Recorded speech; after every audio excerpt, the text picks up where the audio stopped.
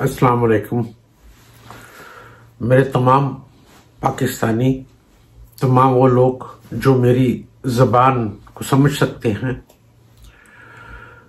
उनको मेरी तरफ़ से बहुत सारी दुआएँ और नेक ख्वाहिशात। आज बहुत दुख में बैठा हुआ था, क्योंकि मुझे अपनी माँ याद आ रही थी। मैं छोटा सा था जब मेरी वालिदा मुझे छोड़ के इस दुनिया से रुखसत हो गई। मैं ऑलमोस्ट नाइन नौ साल या साढ़े नौ साल मेरी उम्र थी जब मेरी वालदा की डेथ हुई थी। आप यकीन कीजिए, आज तक मैं अपनी वालदा को नहीं भूला। किसी भी औरत को देखता हूँ, मुझे माँ नज़र आती है। इवन में जो मेरी बेटी है, उसके अंदर मुझे माँ नज़र आती है। और मुझे दुख उस वक्त होता है कि जब लोग हमारी औरतों के ऊपर जुल्म करते हैं, हमारी औरतों के ऊपर बेपना इल्ज़ाम लगाते हैं तशद करते हैं यह हमारी सोसाइटी का अलमिया है। यह हकीकत बात यह है, हम मर्द हजरात बहुत ज़्यादा अपने आप को पावरफुल समझते हैं। हम पैदा तो औरत से ही होते हैं। मेरी माँ एक औरत थी जिससे मैं पैदा हुआ हूँ। लेकिन अफसोस कि जब हम पैदा होते हैं, फिर हम उसी माँ को डिग्रेड करते हैं।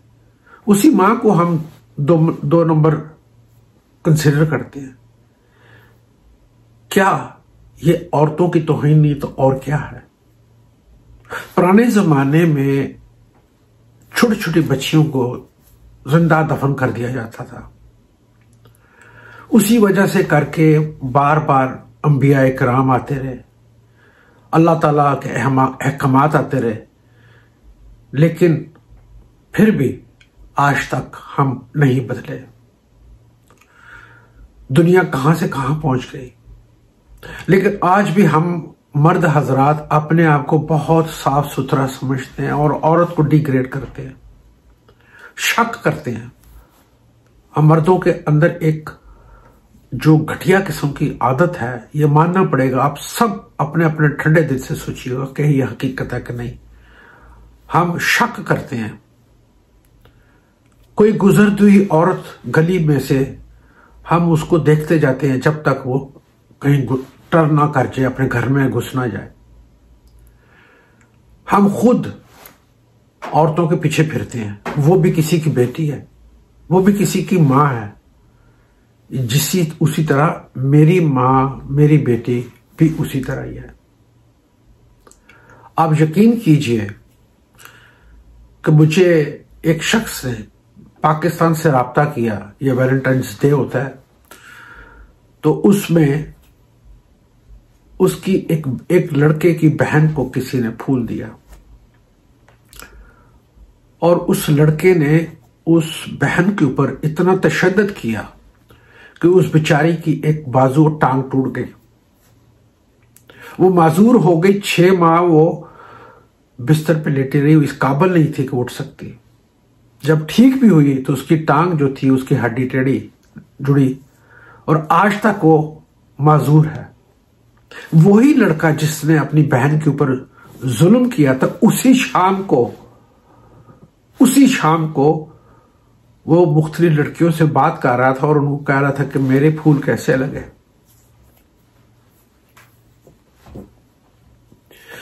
हम दूसरों की बहन को तो देखते हैं, दूसरों की बेटियों को तो देखते हैं हम।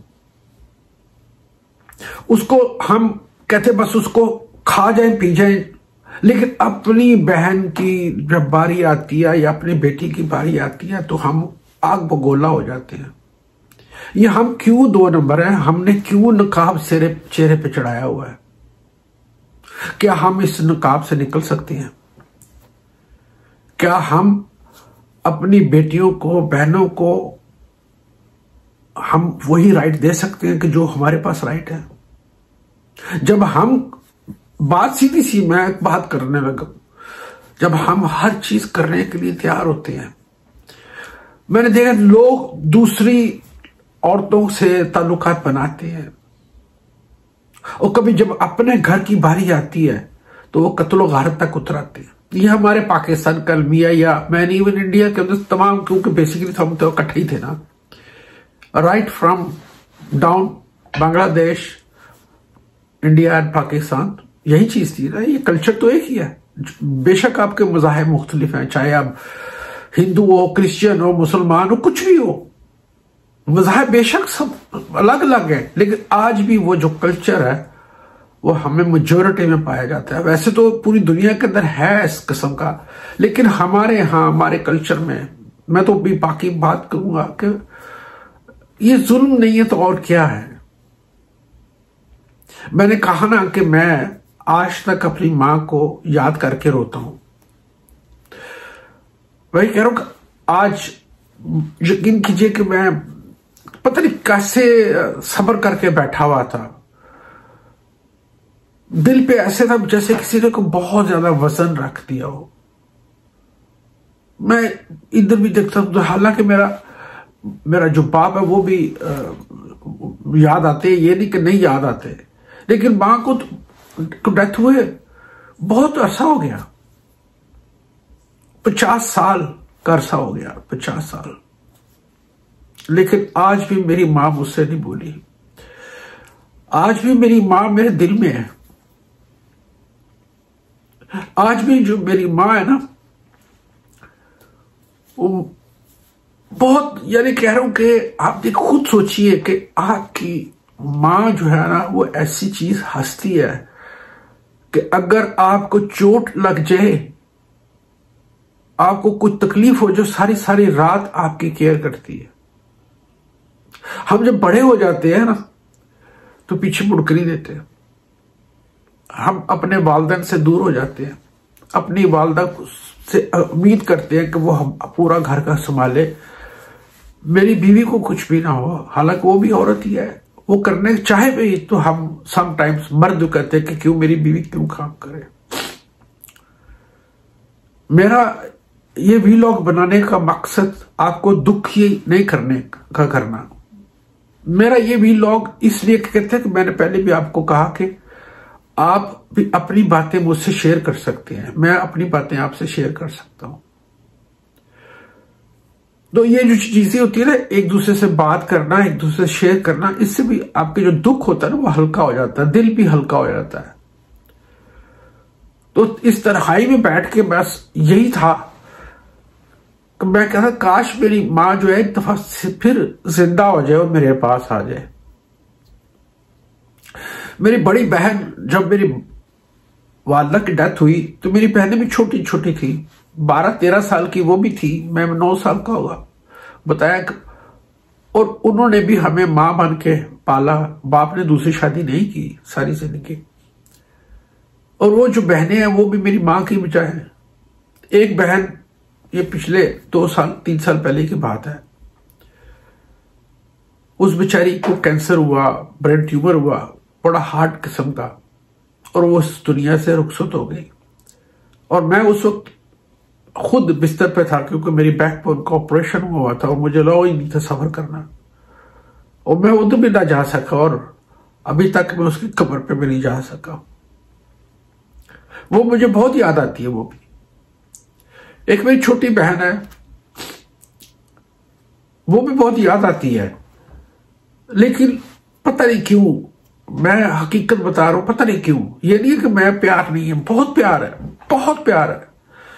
पता नहीं क्यों मैं फ़ोन नहीं कर पाता। बस ये होता, सबर नहीं होता कि मैं फ़ोन करूँगा तो रो पड़ूँगा। ये सच है। मेरे कहने का मतलब है कि हमारे औरतों के राइट्स हम नहीं देते। हम हम अपने आप को बहुत सुपर समझते हैं। हम बहुत अपने आप को हकीकत बता रहे बहुत सुपर समझते हैं। अब मैंने जैसे फौज में नौकरी की अब यकीन कीजिए कि मेरी नौकरी बहुत सख्त थी। ट्वेंटी थ्री ईयर्स में सेवनटीन ईयर्स मैंने गोली के आगे गुजारे। घर नहीं आ सका। शादी हुई। अब यकीन की शादी के दस दिन के बाद मेरी ट्रांसफ़र हो गई। बीवी से पिछले माह के बाद मुलाकात हुई। और वो मेरी मिसिस जब आई तो हमारे ऊपर हमला भी हो गया, सारा कुछ हो। और वो हकीकत है, कुछ फायरिंग के अंदर मेरे लिए खाना बना रही, मेरी केयर कर रही है। उसने ही मेरे बच्चे जितने हुए, मैं तो सिर्फ़ हकीकत बात है, छुट्टी पे जाना दस दिन, और वापस। और वो मेरी बीवी थी जिसने मेरे बच्चे पैदा किए, उनको संभाला, उनकी ग्रूमिंग की और उनको इस मकाम तक पहुँचाया कि अल्हम्दुलिल्लाह, आज मेरे बच्चे जो है बहुत लायक फायक है। मैंने हकीकत, मेरा कोई रोल नहीं है। मैं ऊपर ओपनली कहूँ नाम बाप का लगता है साथ। करने वाली औरत होती है।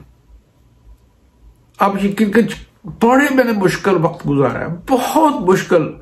और मेरी, मैं अक्सर कहता हूँ कि अगर मेरी मिसिस की जगह कोई और होती तो शायद वो भाग जाती। ये भी एक औरत है।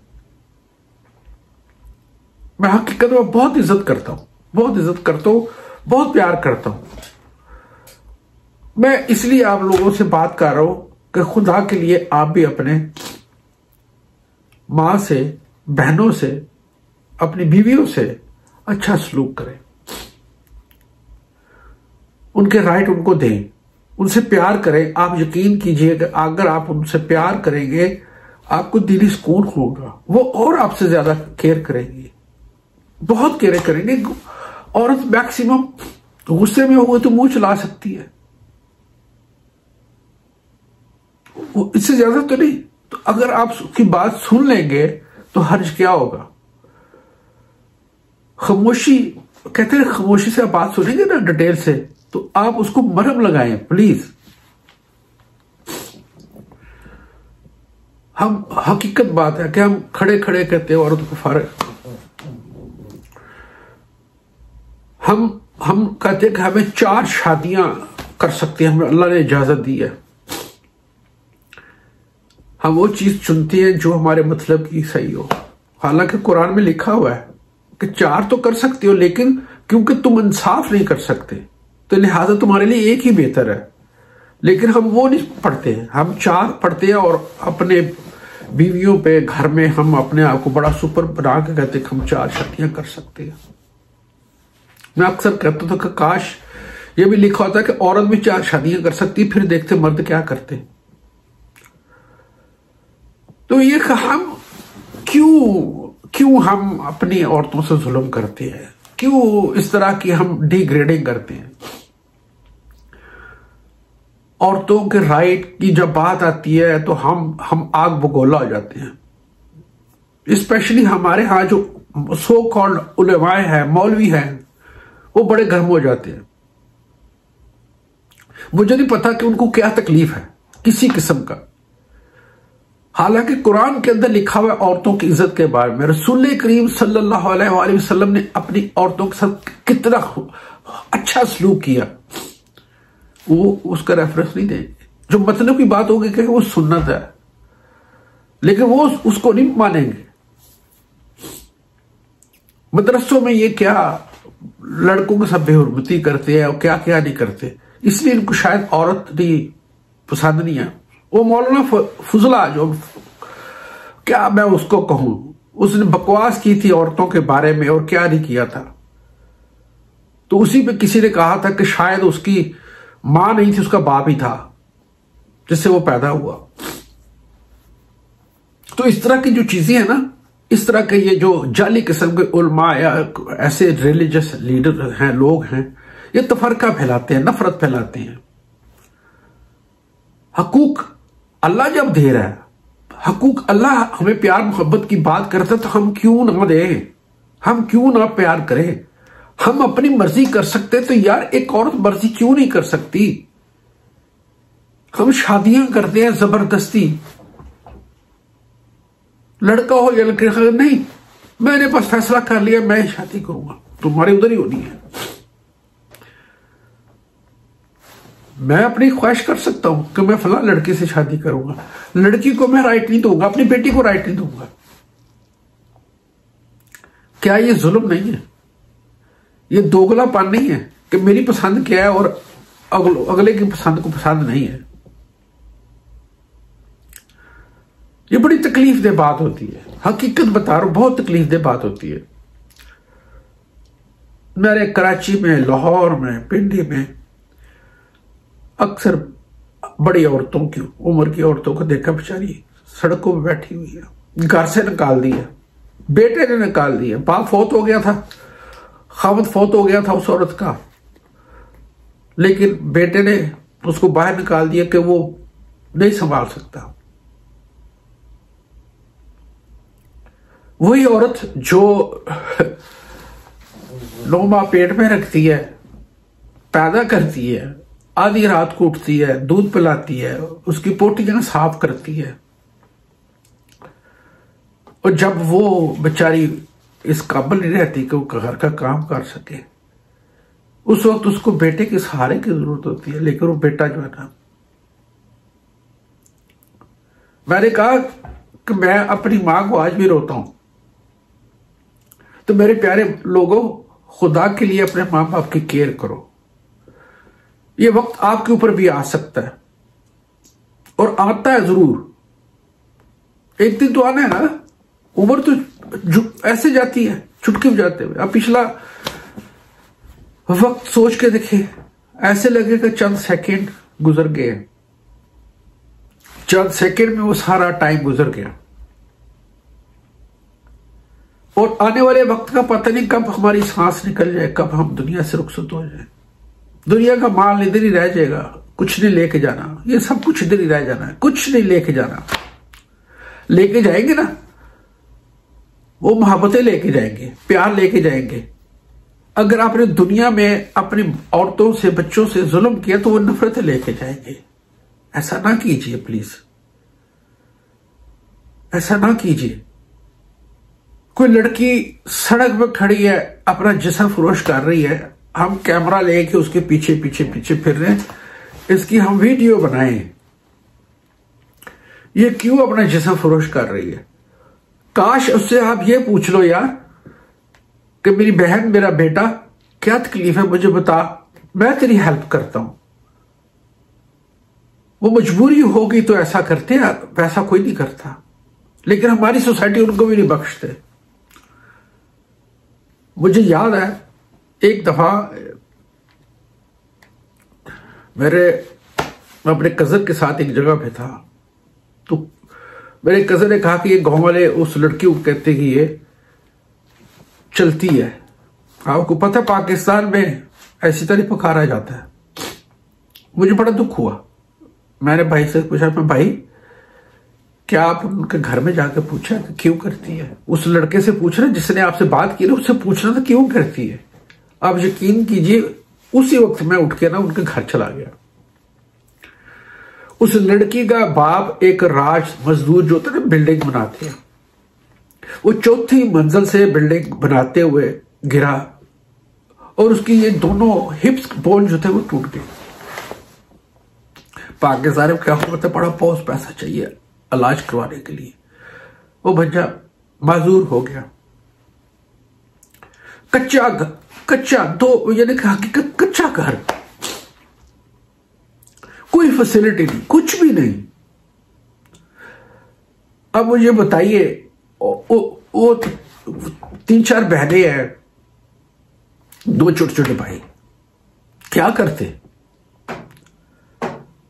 और उस बड़ी लड़की ने आप यकीन कीजिए रो के मुझे सिर्फ़ तरह कहा कि मेजर साहब आप मुझे बताइए कि मैं नौकरी की तलाश में गई और जहाँ भी जाती थी, लोग पहले देखते हैं, गंदी नज़रों से देखते हैं। कहती कि अभी भी पूरे मोहल्ले में मुझे कहते मैं चल रही हूँ। कहती मैं लोगों के घर बर्तन धोती हूँ, जाके कपड़े धोती हूँ, लेकिन मैं इस किस्म का जिसम फरोशी का काम नहीं करती। अब यकीन किए बड़ा बड़ा रोया कि पूरा गाँव उसको ये कह रहा है कि ये चलती है। और वो लड़की रोती हुई क्या कह रही है? कोई उसके ऊपर एतबार नहीं करता। मैंने उसको समझता मैं बेटे आज के बाद तुरे घर में रहना तुम लोगों को जो चाहिए वो मिले, मिलेगा। मैं कोई इतना बड़ा अमीर आदमी नहीं हूँ ना मैं भी एक बड़े फैमिली का बंदा हूँ। जो मुझसे हो सका मैं किया उसकी शादी भी मैंने करवा दी। उसकी छोटी बहन की भी शादी करवा दी। आज भी वो मेरे रास्ते में होती है। वो भी एक औरत है। मुझे इतना प्यार करती है वो, हकीकत बात है वो। इसी तरह कहती है कि आप मेरे चचा भी लगती है, मेरे बड़े भाई भी लगती है। वो मुझे बड़ी खुशी होती है। ये कुछ और देव सड़क पर निकलती है, अपने राइट मांगती है। तो देने चाहिए ना यार। हम अपने लिए हर गंद सोचते हैं। अपनी औरतों की आवाज़ तो सुने। वो कहना क्या चाहती है?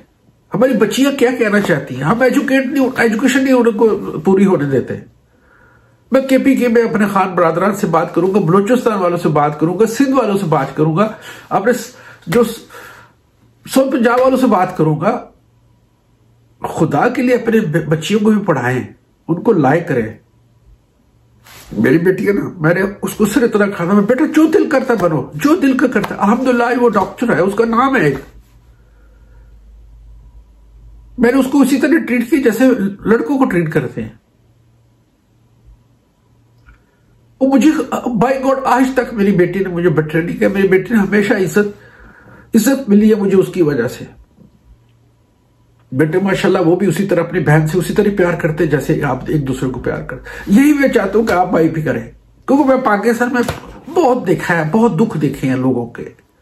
घरों में घुस के देखा है, गाँवों में जाकर घुस के देखा है।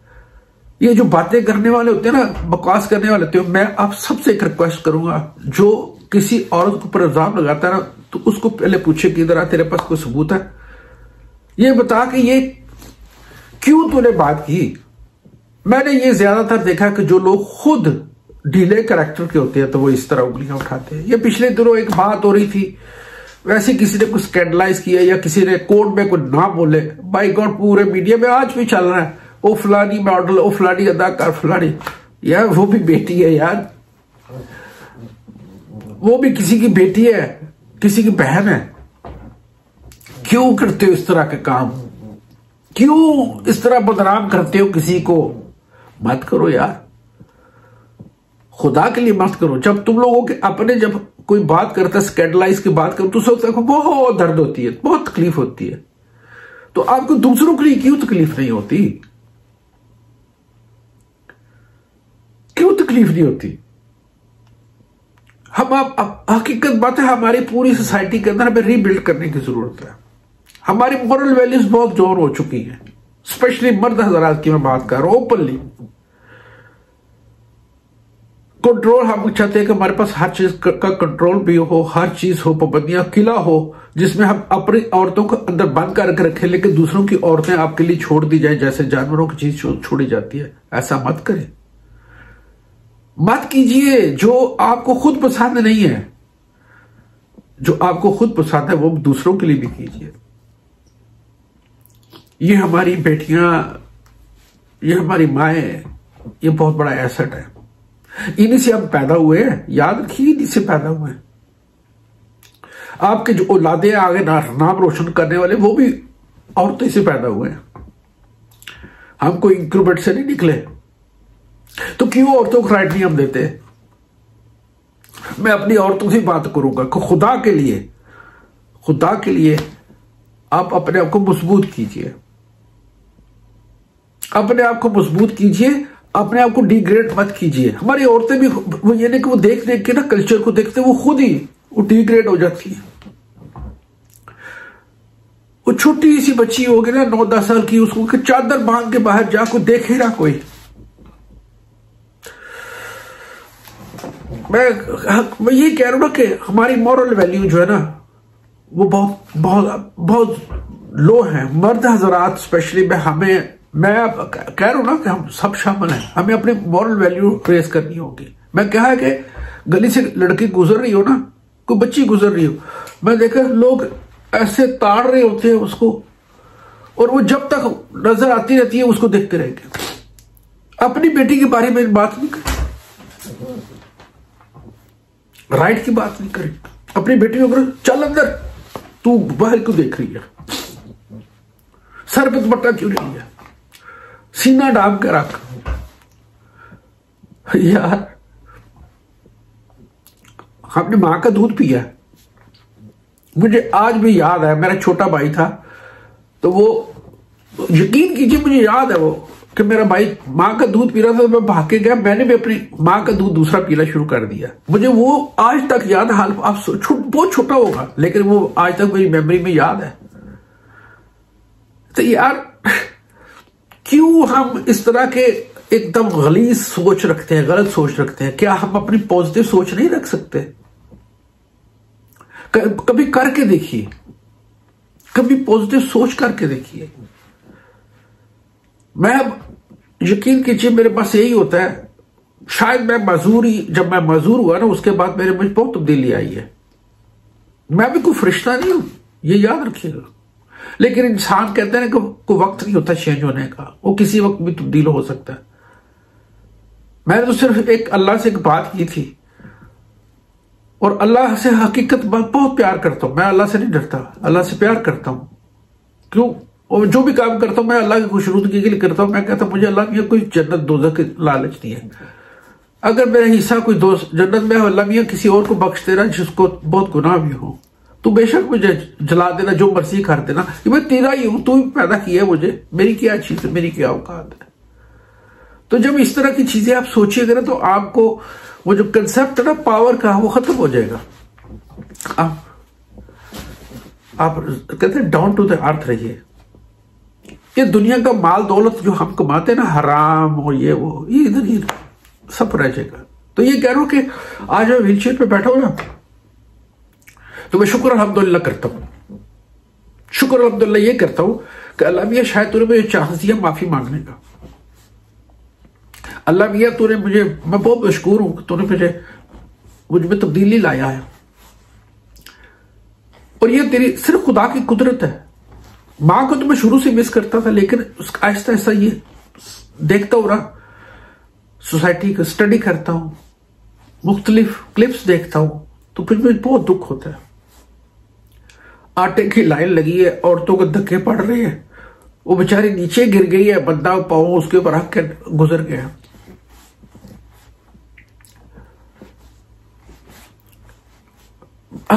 ये क्या आप खुद सोचिए कि क्या ये जुल्म नहीं है? औरत पूरा घर संभालती, पूरा घर। और हम शाम को आया क्या वारंग करके पूछे कि तू क्या कर क्या रही थी? तू घर में बैठी हुई है कपड़े वो धोए, घर की सफ़ाई वो करे, खाना वो बनाए। आपके लिए तैयार भी वो हो, सब कुछ हो, लेकिन फिर भी वो बातें सुनती है। तो खुदा के लिए मेरी आपसे हम रिक्वेस्ट है, खुदा के लिए। अपने मॉरल वैल्यू को रेज कीजिए, इस सोसाइटी को बिल्ड कीजिए, ये पाकिस्तान हमारा घर है, हमने इसको बनाना है तो बाहर नहीं करना। तो बनाने के लिए हमें अपने आप को ठीक करना होगा। मेरी अगर आप प्यार से, दिल से अगर सोचेंगे मेरी बात को तो खुदा के लिए आप सोचिए, अपने आप को मज़बूत करके, अपने अंदर पॉजिटिव रंग लेके आइए। अपनी बच्चियों से, अपनी बेटियों से, माओ से, हमसायों से, रिश्तेदारों में, तमाम औरतों की इज़्ज़त कीजिए रिस्पेक्ट कीजिए। गंदी नज़रें खत्म कर दे। ये मौलवियों को बातें फतवे शतवे में मर जाए। ये खुद सब सब, सबसे दुनिया के सबसे बड़े ठरकी लोग ही होते चार चार बीवियाँ, तीन तीन बीवियाँ रखी होती हैं। मस्जिद के अंदर घर मुफ़्त में मिला होता मैं तो इन मौलवियों को मानते नहीं, क्योंकि इस्लाम एक कंसेप्ट ही नहीं है मौलवियों की। इनकी बातें मत सुनिए। अब वो सुनिए जो खुदा आपको कहता है, कुरान के अंदर कहता है जो नबी करीब ने किया, मसाले छोड़ी, उसके ऊपर चलिए। अपनी मोहब्बत, पूरी मोहब्बत, एनर्जी अपनी बहनों से, बेटियों से औरतों पर लगा दे। उनको इज़्ज़त दें, उनका राइट्स दें। आप फिर देखिए, सब ठीक हो जाएगा। हमारी सोसाइटी भी बिल्ट होगी, हमारी मोलर वैली भी ठीक होगी। और इन ताला मुझे बड़ी उम्मीद है कि अगर आप मेरी बात को सुनेंगे, उसके ऊपर कुछ सोचेंगे तो इंशाल्लाह ताला बेहतर होगा। मैं इनशाला बात करता रहूँगा इसी औरतों के राइट के ऊपर। तो मैं अब रिक्वेस्ट करूँगा कि ये मेरा मैसेज तमाम को शेयर करें। शायद किसी को पसंद आ जाए। और अगर मेरी वजह से किसी की दिल उजारी हुई तो मैं माफ़ी माँगता हूँ। पाक फौज जिंदाबाद, पाकिस्तान फरीदाबाद सलामकुम